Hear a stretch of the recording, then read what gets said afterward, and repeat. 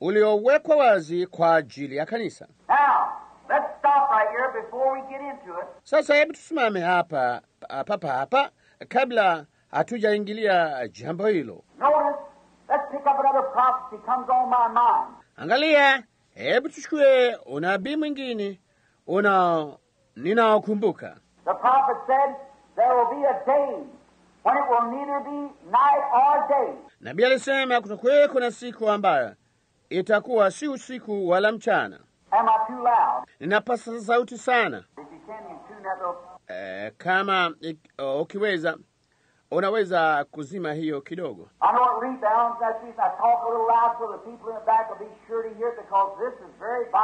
Ninajua inarudisha mwangi, na hiyo ndiyo uh, sababu inazungumza uh, kwa sauti uh, kuu kidogo, ili kwamba watu walio upande wa nyuma wapate kulisikia uh, kwa maana jambo hili ni muhimu sana.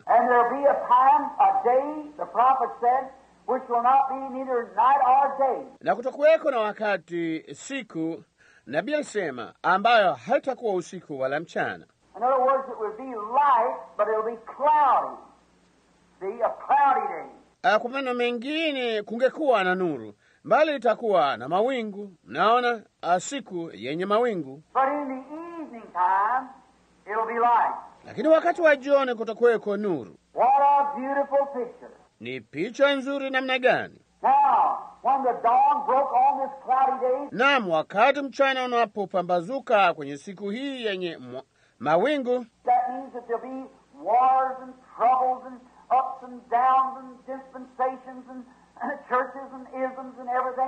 hiyo inamaanisha kutakuweko na vita na shida na misukosuko na, na majira na makanisa na itikadi na kila kitu.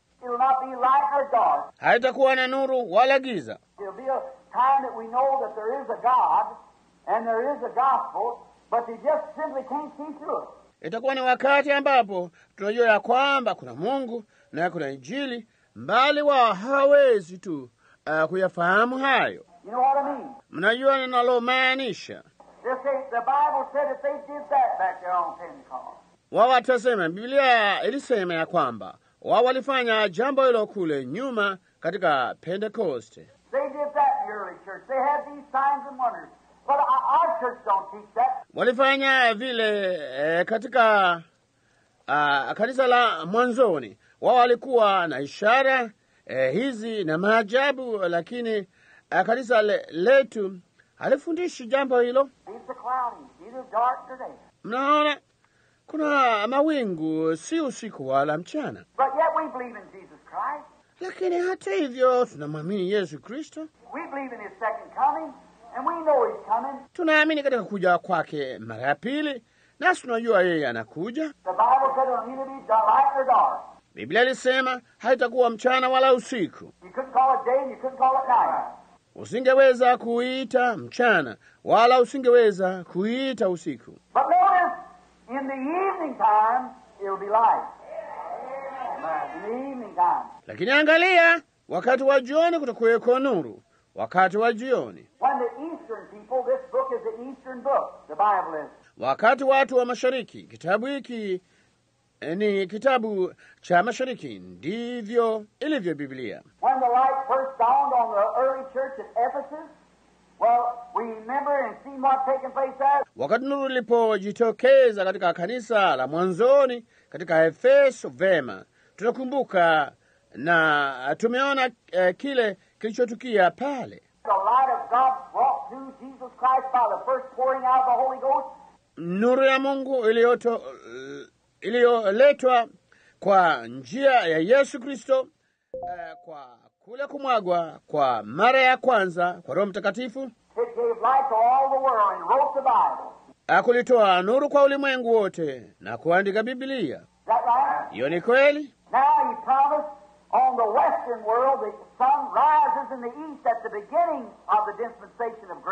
Sasa yeye aliahidi eh, katika ulimwengu wa magharibi jua kuchomoza mashariki mwanzoni mwa majira ya neema, And now the sun is setting in the west on the western people. na sasa jua linatua magharibi eh, kwenye watu wa magharibi. We are the western people. Eh, Sisi ni watu wa magharibi,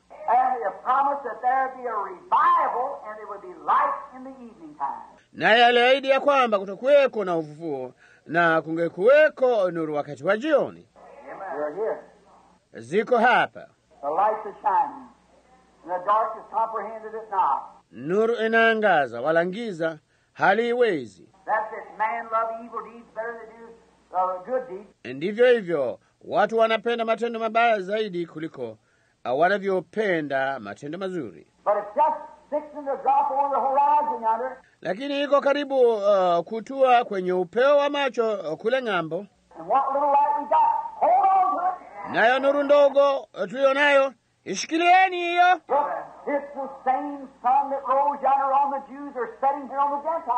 Angalieni, ni jua lile lile lilozuka kule ng'ambo kwa Wayahudi linalotua hapa kwa mataifa. All through the age here, through these 2,000 years, we had this and that and organizations and dispensations and mess and that. And Katika wakati wote hapa kupitia miaka hii elfu mbili nao walikuwa na hili na lile na madhehebu na majira na hili na lile, na watu hawajui wanakosimama. But the Bible promises, God did through the prophet, that in the evening time it would be light. Lakini Biblia inaahidi, Mungu aliahidi kupitia kwa nabii ya kwamba wakati wa jioni kutakuweko nuru, It'll be light in the evening time. kutakuweko nuru wakati wa jioni. Ninaamini tumefika, Jua linatua, All nature is groaning, crying for that day. Amen. maumbile yote yanaugua yakililia ile siku. Notice, now we find out that what they had there at the very first church age, they got a strange doctrine. Angalieni, sasa tunaona ya kwamba walichokuwa nacho huko kwenye ule wakati wa kwanza kabisa wa kanisa walikuwa na fundisho geni. Muda si mda likawa tu matendo fulani. Yeye alisema unayachukia matendo ya Nikolai. Si wa Nikolai walikuwa nini?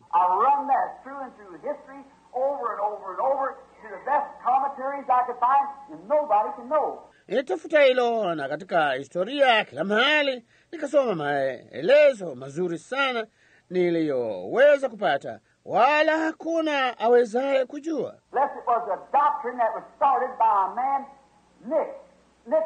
isipokuwa liwe ni fundisho lililoanzishwa na mtu fulani Nick Nicholas, which was supposed to be one of the apostles that kind of went astray. ambaye alidaiwa kuwa mmoja wa mitume ambaye kwa namna fulani alipotea. Yeye alianzisha kanuni ya imani ama kitu kama hicho, na kutoka hapo wakatokea waka Wanikolai. Ilikuwa ni matendo kwanza, And what was deeds in Ephesus, in the next church age, become a doctrine. na yaliyokuwa matendo katika Waefeso katika wakati uliofuata wa kanisa ya wa kanisa yakawa fundisho, kisha akaingia kwenye wakati wa ngiza wa mateso.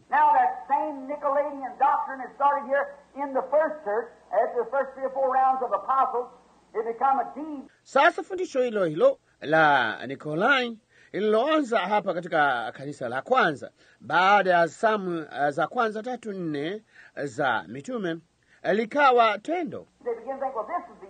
Wakaanza kuwazia vema, hili ndilo sasa. Ninyi nyote mnajua jinsi jambo hilo lilivyotukia, nanyi wasomaji wa Biblia. Now, it started up about AD 600, uh, 306, Naam, ilianzia yapata uh, adi as, uh, mia sita na ama mia tatu na sita wanachokita uh, kuongoka kwa Constantine. Yeye never was converted. Yeye hakuongoka kamwe. The guy that do the dirty things that that man done wasn't converted. That's right. Mm, Jamaa ambaye angefanya mambo machafu ambayo mtu huyu alifanya hakuwa ameongoka. Hiyo ni kweli.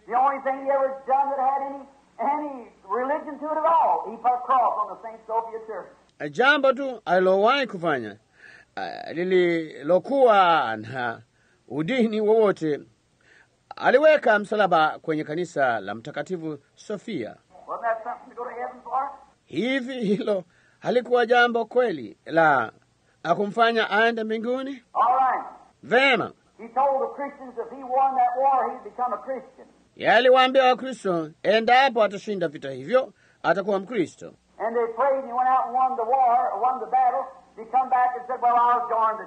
Nao wakaomba, akatoka akaenda akashinda vita, ama akashinda yale mapigano, kisha akarudi akasema, vema, nitajiunga na kanisa.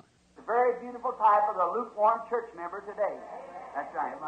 Ni mfano mzuri sana wa mfuasi wa kanisa mwenye ufugufugu leo. Hiyo ni kweli. Akaweka msalaba juu ya kanisa. Baada ya kifo chake, yeye alikuwa na wana wawili, wana watatu.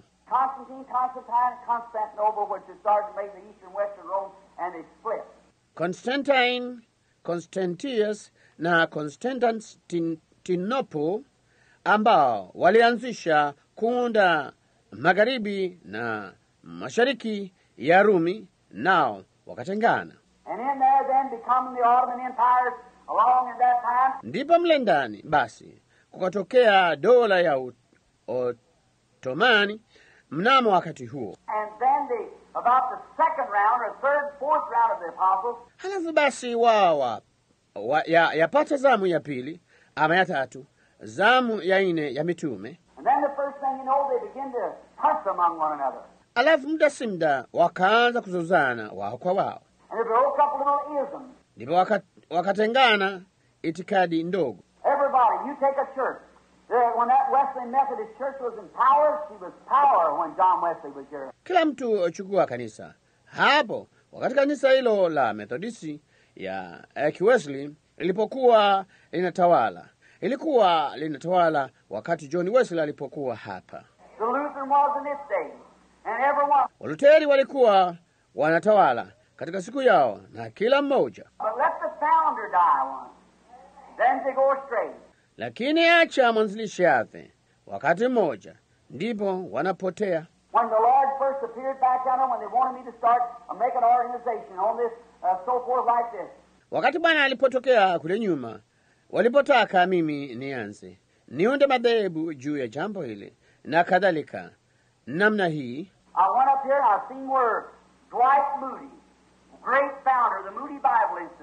nilipanda kwenda kule nikaona mahali ambapo Dwight Moody, mwanzilishi mashuri uh, chuo cha Biblia cha Moody,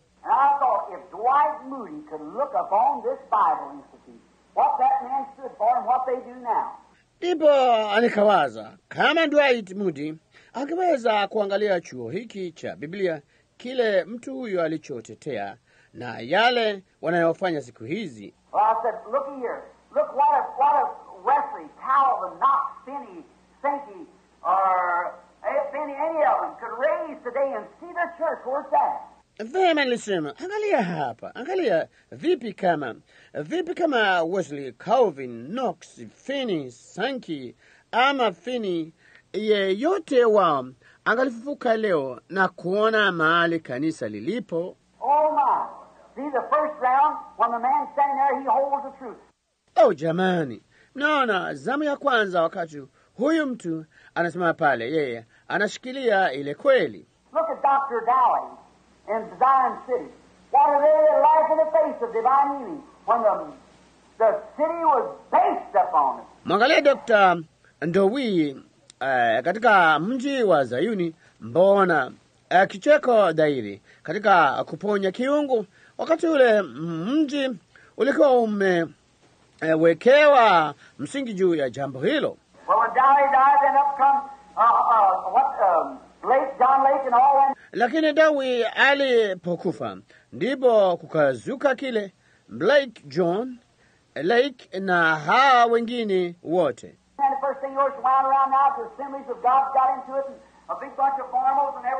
Basi muda si muda limejizungusha kila mahali sasa, hata Assemblies of God limeingia mle na kundi kubwa la watu baridi na kila kitu, And the, the nalo ka- kanisa limekwisha na kurudi nyuma, nalo liko katika hali ya kuchukiza.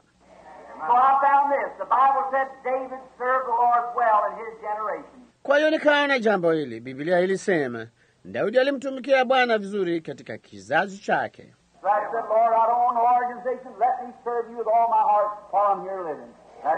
So Kwa hiyo nikasema, Bwana, sitaki madhehebu yoyote, nijalie eh, nikutumikie wewe kwa moyo wangu wote wakati niko uh, hapa ningali hai. Hiyo ni kweli. Jambo la pili, wewe utampata mtu mwingine nitakapoondoka, utampata mtu mwingine kuchukua mahali pake. Hiyo tu, usijaribu kujenga juu ya mwingine. You can't build a fire in the same ground. Huwezi kuwasha moto mahali pale pale. Iliwabidi Israeli kuendelea kusonga mbele. Wakati waliposimama, wao wakarudi nyuma. Iliwabidi kuendelea kusonga mbele kila usiku, wakawasha moto mpya kila usiku, wakaendelea tu kusonga mbele. Basi hivyo ndivyo inavyotupasa kufanya. Alichokuwa uh, nacho Luther kilikuwa sawa. Hicho kilikuwa ni kwa ajili ya siku ya Luther. Day. Kile alichokuwa nacho Wesley kilikuwa sawa. Hicho kilikuwa ni, cha, ni kwa ajili ya siku ya Wesley. Walichokuwa nacho watu wa utakatifu, hicho kilikuwa sawa. Hiyo ilikuwa ni siku yao. Tunaishi katika siku nyingine. Sasa tuna tunasonga mbele, na ikiwa kuna siku baada yetu itakuja vile vile, lakini hebu tutembee nuruni wakati nuru iko hapa sasa. Now, uh, notice this. That in there, this doctrine become first thing you know, to broke up into a bunch of isms. Nami ninaona hivi ya kwamba mle ndani eh, fundisho hili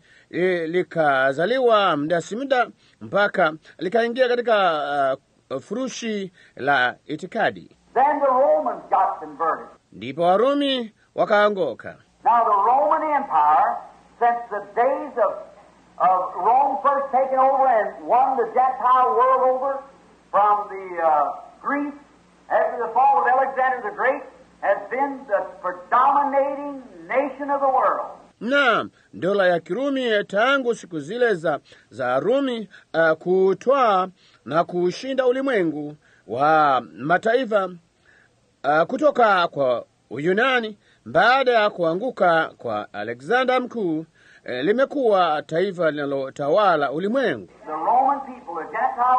Warumi wakati wa mataifa. Daniel said so in the vision. Danieli alinena hayo katika ono. We'll Tutalifikia katika katika dakika chache. But it's always had the dominating power over the world, the Romans. lakini daima limekuwa lina uh, lo utawala ulimwengu Warumi. Uh, we find out there then that they organized a church. Ndipo tunaona pale basi ya kwamba walilifanya kanisa madhehebu.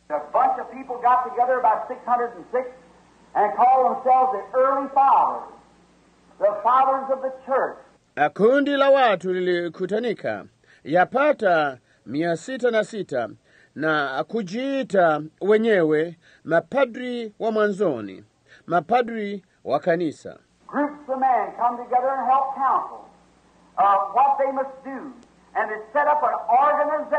Uh. Kundi la watu likakutanika na kufanya barasa juu ya yale wanayopaswa kufanya, na wakaunda madhehebu. Protestant. Basi hebu nizungumze hapa, rafiki zangu wa Kristo wa Protestani na wa Katoliki pia. Na sasa nafikiri nina marafiki wa Katoliki uh, wanaoketi hapa. Sisemi jambo hili kuwaudhi, So just Hold on just a few minutes and we'll get the Branham Tabernacle in it also. See? Just a minute. maana tulieni tu kwa dakika chache, nasi tutayapata maskani ya Branham mle ndani pia. Mnaona, kwa ngojeni kidogo tu. Tunapaswa tu kuihubiri ijili jinsi ilivyowekwa hapa, No haiduru ni wapi. John said the axe is laid to the root of the tree, let the chip fly wherever they wish to. Yohana alisema ah, shoka lilikuwa limewekwa kwenye shina la mti, wacha vipande viruke vitakako. Hiyo ni kweli. Yeye hana budi kuikata miti na kadhalika. Lakini angalieni mle ndani wao walilifanya kanisa la kwanza madhehebu,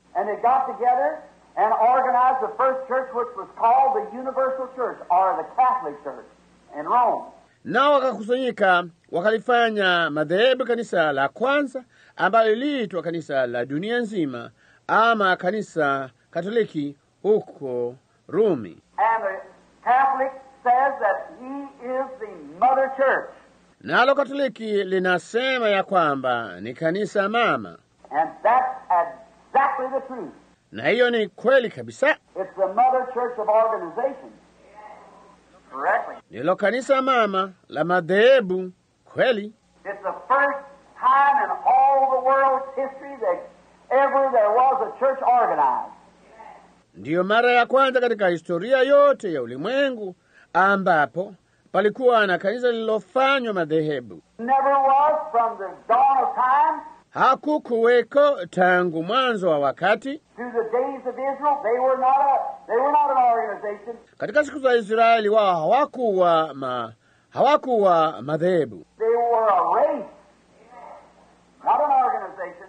walikuwa jamii, si madhehebu. And that Jesus Christ never did organize a church. Nao Yesu Kristo kamwe hakufanya kanisa madhehebu. Hakuna mmoja wa wale mitume aliyepata kufanya kanisa madhehebu, no na hakuna wakati wowote baada ya vizazi vitatu vine vilivyowafuata walipofanya kanisa madhehebu.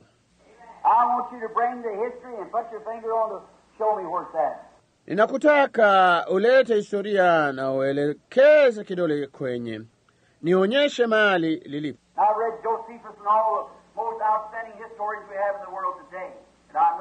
Nami nimesoma Josephus na wanahistoria wote mashuhuri tulionao ulimwenguni leo ni wajuao,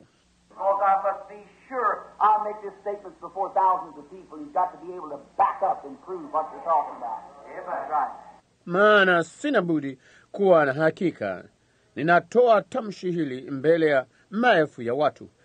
Uh, huna budi uh, kuweza ku, kuunga mkono na kuthibitisha kile unachonena. Hiyo ni kweli. Hakukuweko na madhehebu kamwe,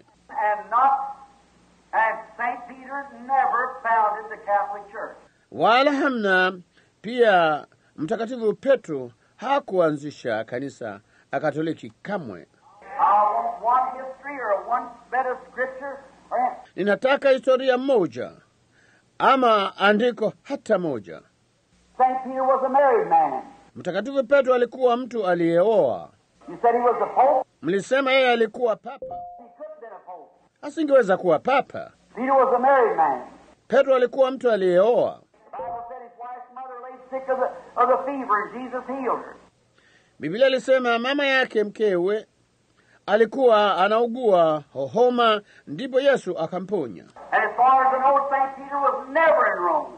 Na kadiri nijuavyo mimi, Mtakatifu Petro hakuwahi kufika Rumi kamwe, wala hakuna historia inayoonyesha kamwe kwamba alikuwa Rumi.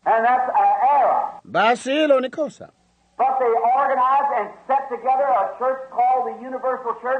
Lakini wao waliunda madhehebu na uh, kuweka kanisa linaloitwa kanisa la dunia nzima. Hapo wao walifanya uh, sala ya watu wote, They had perfect harmony. walikuwa na upatano mkamilifu. Everybody had to be together. everybody say the same thing? Kila mtu alipaswa kuwa katika umoja, kila mtu aseme jambo lile lile. Sala ile ile ilisemwa, and they made up a bunch of scripture, taking them from the Bible, many of them, and making others. na wakatengeneza kundi la maandiko wakiyachukua kutoka katika Biblia mengi ya hayo na kutunga mengine. There is not purgatory mentioned one time in all the sacred books of the Bible. Hakuna pagatorio iliyotajwa hata mara moja katika vitabu vyote vitakatifu vya Bibilia. No Hail Marys, nothing like that. Hakuna salamu Maria, hakuna kitu kama hicho.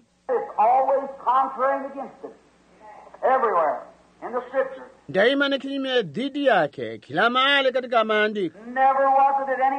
Hapaja kuweko wakati wowote. If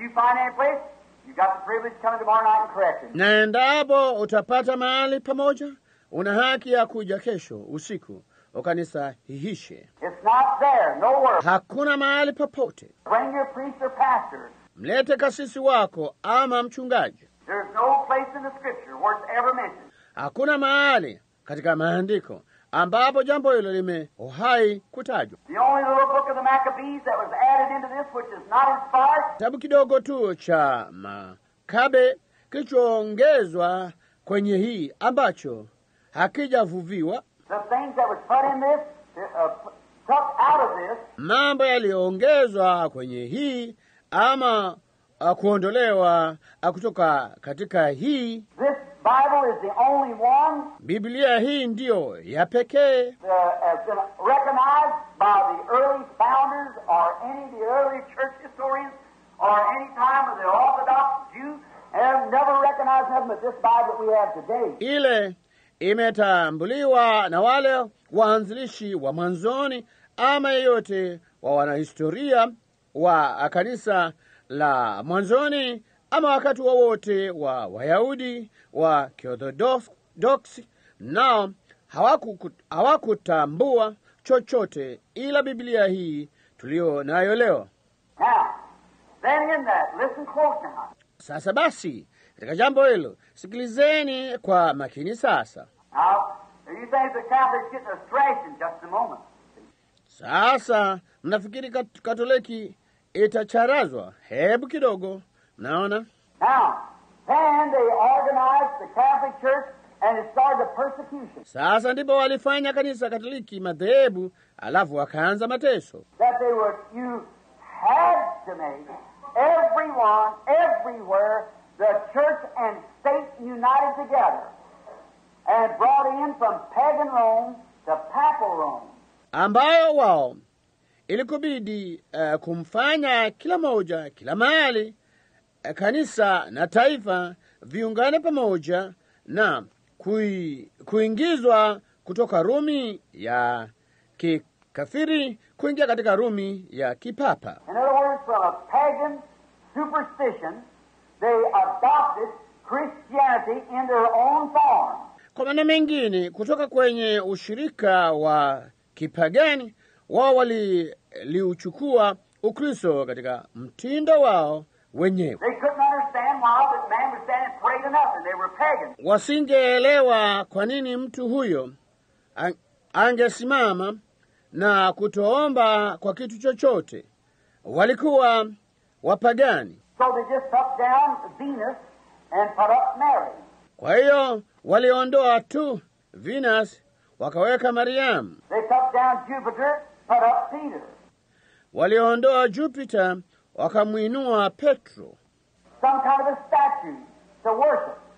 namna fulani ya sanamu ya kusujudia. Now, and they worship before that. Naam, nao wakasujudu mbele ya kitu hicho. Ndipo wakatengeneza sala ya watu wote, wakaisema katika Kilatini isije ikashindwa na kadhalika. They always say the same, Wao daima wanaisema ile ile, and you cannot discuss or debate with a Catholic priest or no Catholic upon the basis of the Bible. nawe huwezi kuzungumza wala kuhojiana na kasisi wa Kikatoliki wala Mkatoliki yeyote yule juu ya msingi wa Biblia. Mmoja aliketi, kijana huyu kasi hapa aliketi nyumbani mwangu hivi majuzi tu, He said, You Protestants, you read the Bible and stay home. akasema, ninyi wa Protestanti mnasoma Biblia kisha mnakaa nyumbani. We Catholics go to church and worship. Sisi Wakatoliki tunaenda kanisani na kuabudu. I said, But why? Nikasema, lakini ni nini? Hivyo ndivyo ilivyo. Sasa jibu hilo. He said, God is in his church. Akasema, Mungu yumo katika kanisa lake. So. Nikasema, yeye hakuna hata chembe moja ya maandiko yanayosema jambo hilo. I said, God is in his word. Nikasema, Mungu yumo ndani ya neno lake. Yalisema, kila neno la mwanadamu liwe uongo, nalo langu kweli. He said, Don't you think a whole group of men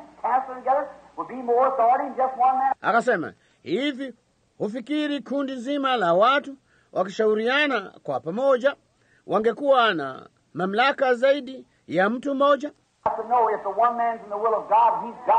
Akasema, la, kama mtu huyu mmoja yuko katika mapenzi ya Mungu, yeye yuna ile kweli. Daima hilo lilithibitishwa,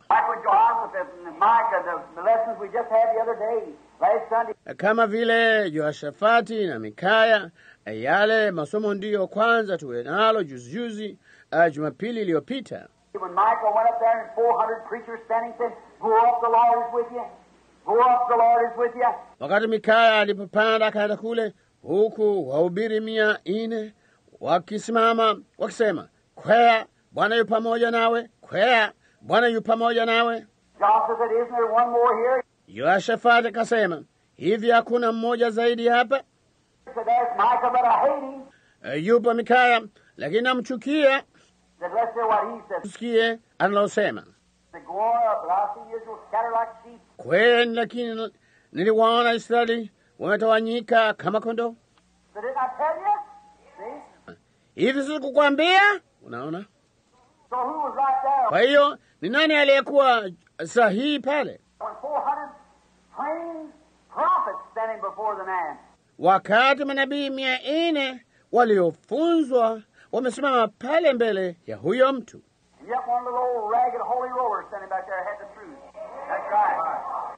hata hivyo, maskini mtakatifu mmoja anayejifingirisha na mkali aliyesimama kule nyuma alikuwa na ile kweli. Hiyo ni kweli, That's true. He did. He had the truth. Alikuwa nayo, alikuwa na ile kweli. Alipigwa kofi la mdomoni na kupigwa juu ya jambo hilo, mbali yeye alikuwa na ile kweli. So it doesn't matter how many says this or how many says that, it's what thus saith the Lord. Amen. That's true. Hallelujah. Kwa hiyo haijalishi ni wangapi wanasema hili ama ni wangapi wanasema lile, ni kile Bwana asema hivi, hiyo ni kweli.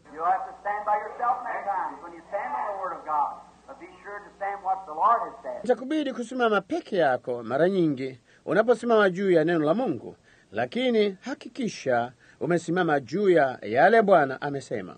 Now, they organized this church, great body, the Catholic Church, which is the predominating of all the religions today in the Christian realm, is Catholicism. Wao walifanya kanisa hili madhehebu, uh, kundi kubwa, kanisa Katoliki ambalo linatawala ndini zote leo katika milki ya Kikristo ni Ukatoliki.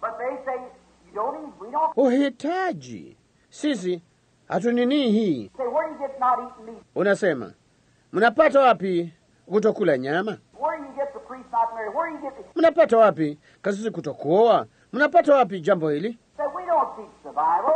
Kasema sisi hatufundishi Bibilia. Kasema kanisa ndilo sauti. Haidhuru Biblia inasema nini, ni yale kanisa alisemayo. Bali Mungu alisema, na kila neno la mtu liwe uongo na langu kweli. Sasa huna budi kujichagulia. Now, that Nicolaitan had become a doctrine and then become a persecution. Nikolai hiyo ilikuwa imekuwa fundisho kisha ikawa mateso. Sasa hii hapa inajitokeza katika siku za mwisho, then they coming away through the dark ages and the persecution. ndipo kutokea faraja kupitia kwenye nyakati za giza na mateso, Then they're coming led up on the first Reformation, which is Martin Luther. kisha kukaja kuachilia kwenye yale matengenezo ya kwanza ambayo yalikuwa ni Martin Luther. Martin Luther protested against the Catholic Church Martin Luther alilipinga kanisa Katoliki because of that he walked out there and took that communion and they said, This is the body of Christ. Kwa sababu hiyo alienda kule na kuchukua ule ushirika, nao wakasema huu ni mwili wa Kristo. He said it isn't the body of Christ. It's wafers.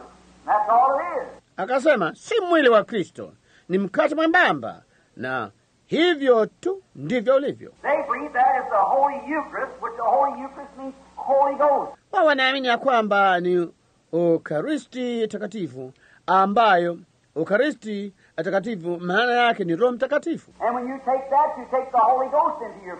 na unapopokea hiyo unamchukua Roho Mtakatifu mwilini mwako, na hilo ni kosa. Roho Mtakatifu ni ubatizo wa Roho. Not and when the day of Pentecost is fully come, a priest come up and give them the Holy Eucharist, a wafer on their tongue. Hata ilipotimia siku ya Pentekoste, kazizi akapanda akaja akawapa Ukaristi takatifu mkate mwembamba kwenye ulimi wao,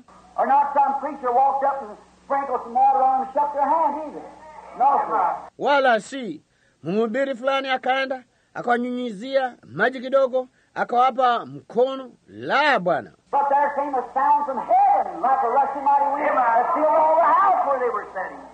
Lakini kukaja toka mbinguni uvumi kama uvumi wa upepo wa nguvu ukienda kazi, ulioijaza nyumba yote waliokuwa wameketi. Hayo ni maandiko, hayo ndiyo yaliyo kweli. Hivyo ndivyo ilivyotukia katika kanisa hilo, na hivyo ndivyo imetukia wakati ile nuru inaangaza katika siku hii. Hapo ndipo ile nuru e, ilipochomoza na hapa ndipo ile nuru inapopenyeza kupitia hapa. Now,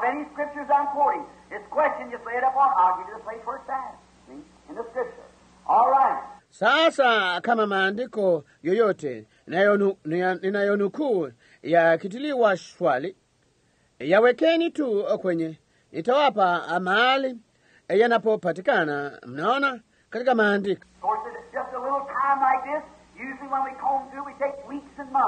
Bila shaka katika tu wakati mdogo kama huu, kwa kawaida uh, tutakapomaliza kuchambua huo, tunachukua majuma kadha na miezi kadha. Andiko tu tunalifuatilia, uh, watu wakiwa na Biblia yao, right. lakini kama likitiliwa swali, hebu tu nijue vema. Ndipo Martin Luther, ndipo baada ya Martin Luther akaja Wesley. Martin Luther come out with catechism, a whole lot of things. Martin Luther alitokea na katekismo, mambo chungu zima. He come out with a baptism. He come out giving a triune Trinitarian baptism, which was never taught in the Bible.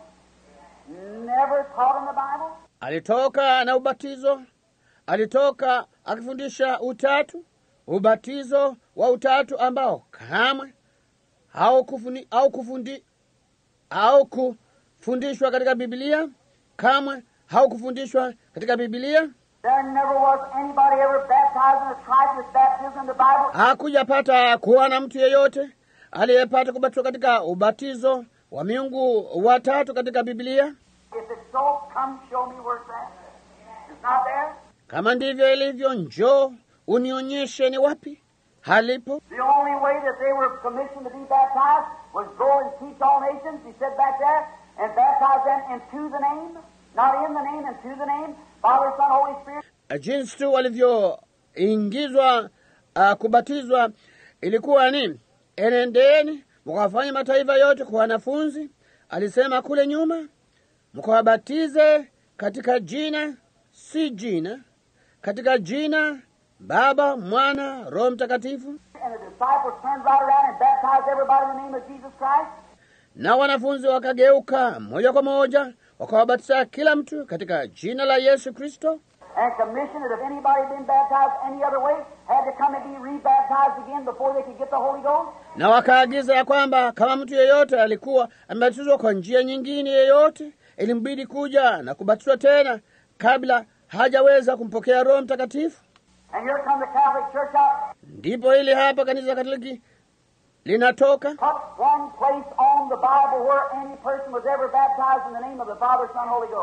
Weka mahali pamoja katika Biblia ambapo mtu yeyote alipata kubatizwa katika jina la Baba, Mwana, Roho Mtakatifu. Hilo ni wasi sana, sivyo? Jumamosi usiku ni usiku wa maswali, nitalipata, tutalinyosha hilo sawa. All right. I want anybody that can show me one place where any person was ever baptized in the name of the Father, Son, Holy Ghost. I'll walk off the pulpit and say I'm a hypocrite. Nataka mtu yeyote anayeweza kunionyesha mahali pamoja ambapo mtu yeyote alipata kubatizwa katika jina la Baba, Mwana, Roho Mtakatifu, nitaondoka mibarani niseme mimi ni mnafiki. And anybody who was baptized any other way had to come and be rebaptized again in the name of Jesus Christ to receive the Holy Ghost. Mtu yeyote aliyepata kubatizwa kwa njia nyingine yoyote ilimbidi kuja na kubatizwa tena katika jina la Yesu Kristo kumpokea Roho Mtakatifu. Exactly. That's what the Bible says. Hiyo ni kweli kabisa, hivyo ndivyo Biblia ilivyosema. Now you see, we take theory instead of truth. Na mnaona, tunachukua nadharia badala ya kweli. Sasa angalieni katika maandiko, Don't say that. Well, Brother Branham said, you look at the Scripture now. msiseme eti vema. Ndugu Branham, alisema, angalieni maandiko sasa. Get your concordance, look it up. Chukueni kamusi yenu mukachunguze jambo hilo.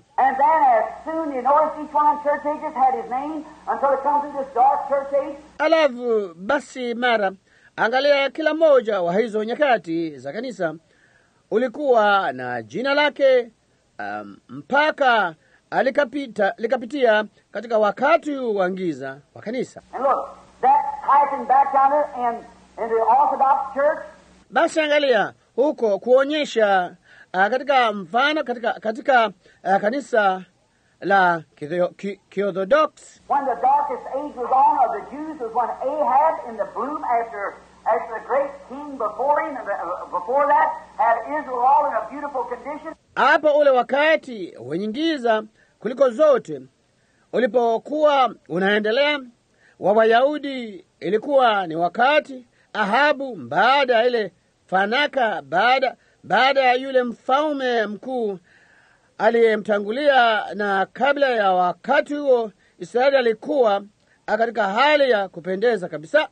And Ahab come in as a borderline believer, a lukewarm condition.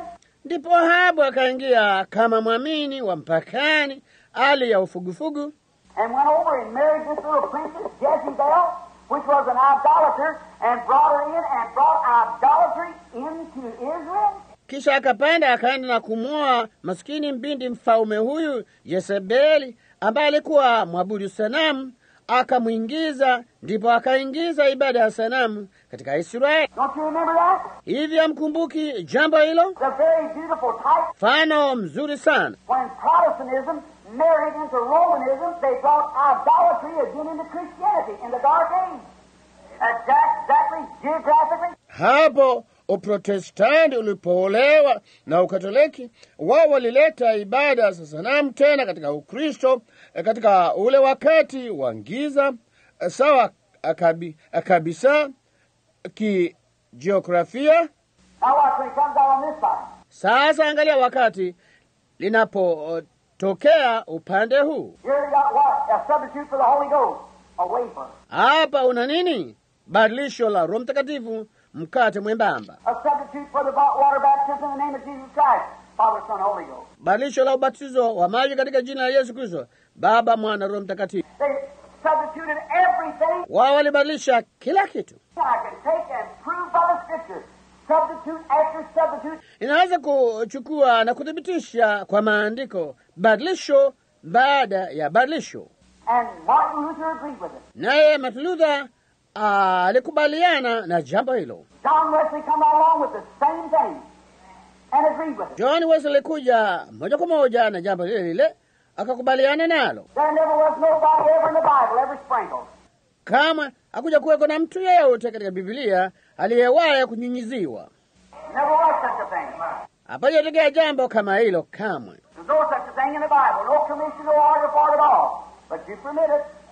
Hapakuwepo na kitu kama hicho kwenye Biblia. Hakuna agizo wala amri ya jambo hilo kabisa, bali ninyi mnaliruhusu. Hiyo ni kweli, mnaliruhusu. They come out and get this little uh, salt shaker and sprinkle it on you. Wao wanatoka wanakuja, wanachukua uh, chombo hiki cha maji ya chumvi na kuwanyunyizia. Why? The Catholic Church started it. And you bow to it. Amen. Right. Kwa nini? Kanisa Katoliki lilianzisha jambo hilo, nanyi mnalikubalia kweli. Jamaa mmoja alisema hivi majuzi, kasema wewe si wewe, wewe si Mkatoliki, wewe ni.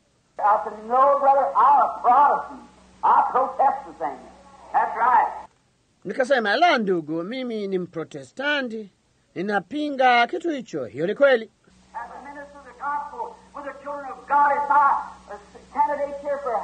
Kama mhudumu wa Injili eh, nikiwa na watoto wa Mungu kama wanafunzi wangu hapa wanaoelekea mbinguni,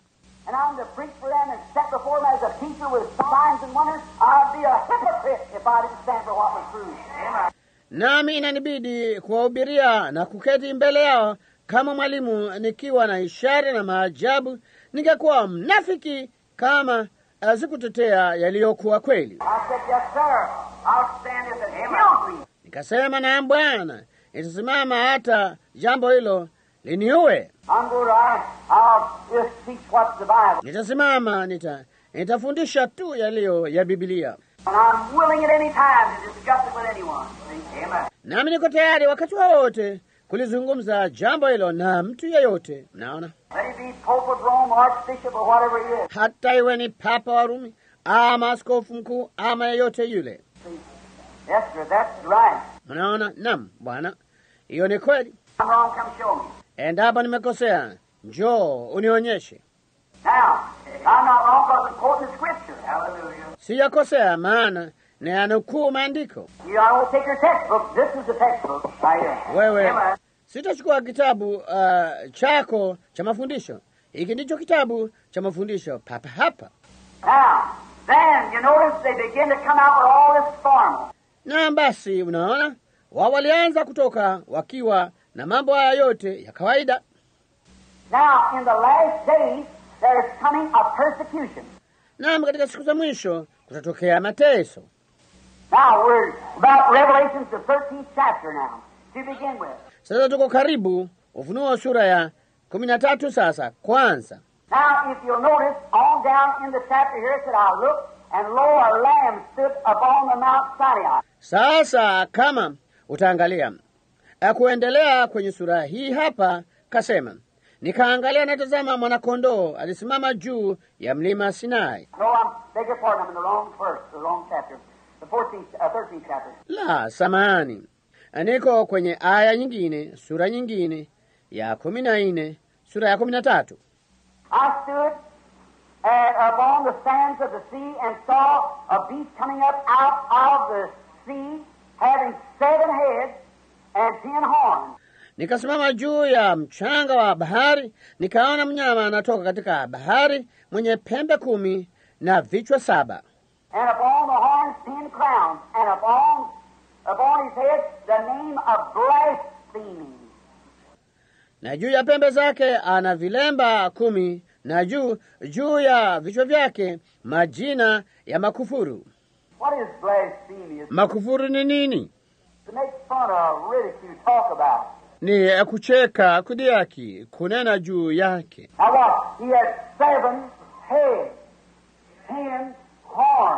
Sasa angalia, alikuwa na vichwa saba, pembe kumi. And watch when he come up out of the sea. Alafu angalia wakati anapotoka katika bahari. Now, the Revelation 17, you're down, 17, 15 says that, uh, that the waters represent sickness and multitudes of the people. Sasa Ufunuo kumi na saba, ninyi ambao mnaandika jambo hilo, kumi na saba kumi na tano kasema ya kwamba yale ya kwamba yale maji yanawakilisha umati na makutano ya jamaa. So this beast represents power, ungodly power. Kwa hiyo mnyama huyu anawakilisha nguvu, nguvu zilizo za kiungu. Beast, the prey, raised up out of the people and stood upon the sands of sea. Mnyama mkali aliinuka miongoni mwa watu, kisha akasimama kwenye mchanga wa bahari. And I saw the Nami nikamwona uh, mnyama, na yule mnyama niliyemwona alikuwa mfano wa chui. his feet was the feet of a bear, Miguu yake ilikuwa kama miguu ya ndubu, his mouth the mouth of a lion, kinywa chake kinywa cha simba. and the dragon gave him his power and seat and great authority. Yule joka akampa nguvu zake na kiti eh, cha enzi na uweza na uwezo mwingi. The dragon. Yule joka, We got two things our consideration now. tuna mambo mawili tunayochunguza sasa. Watch this beast.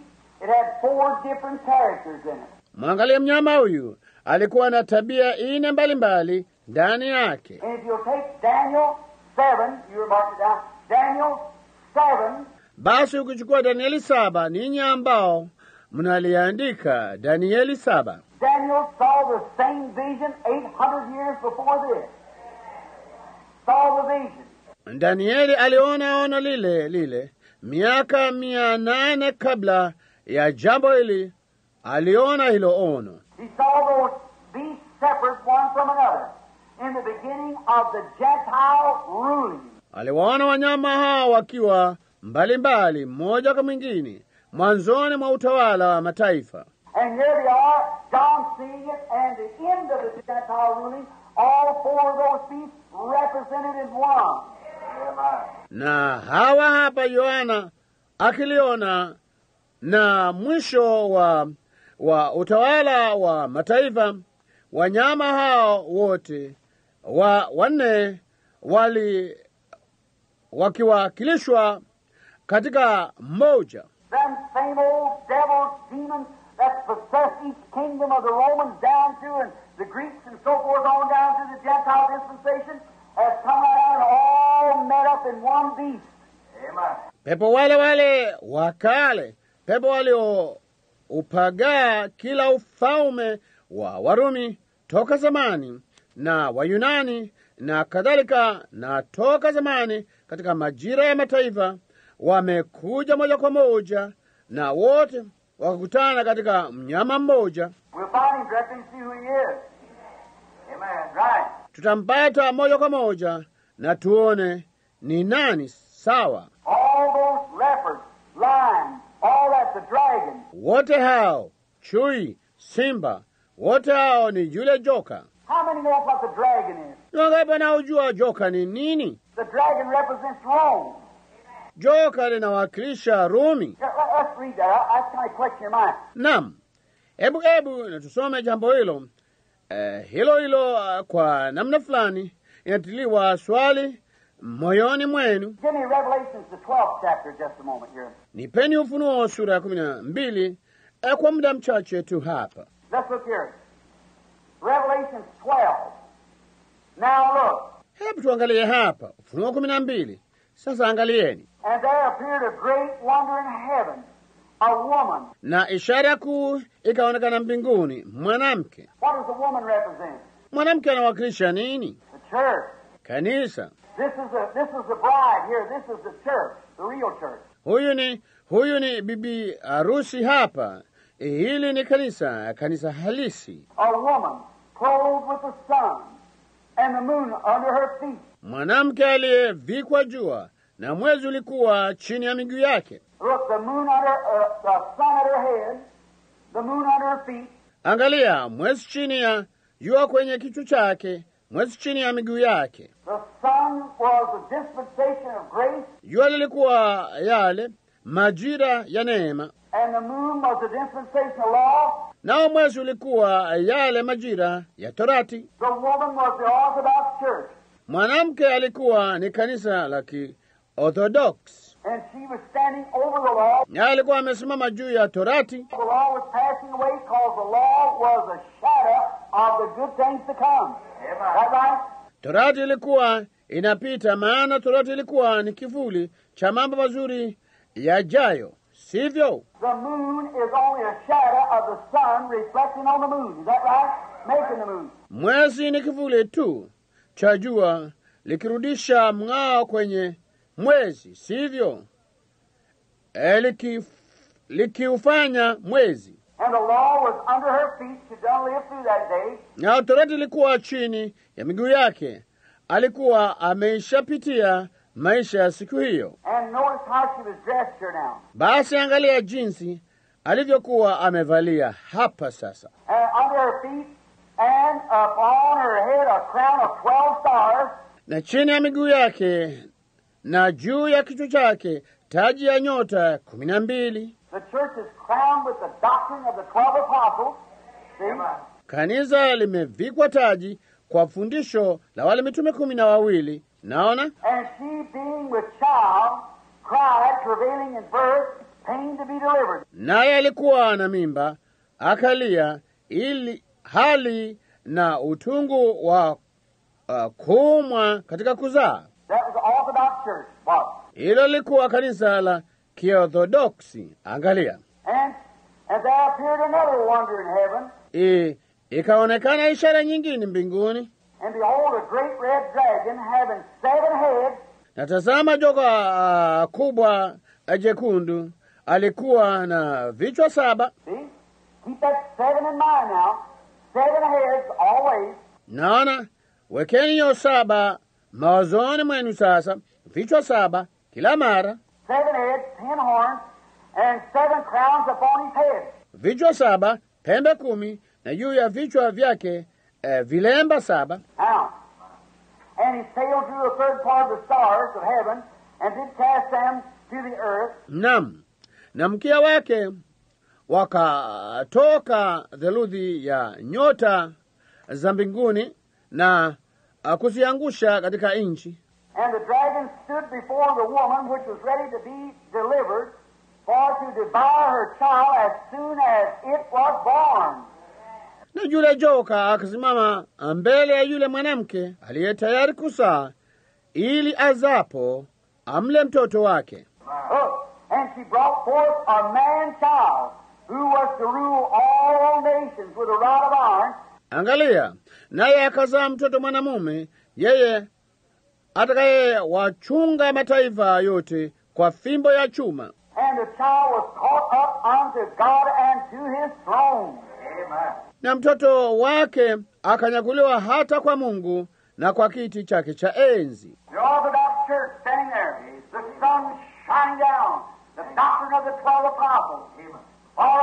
Kanisa la Kiorthodoksi likisimama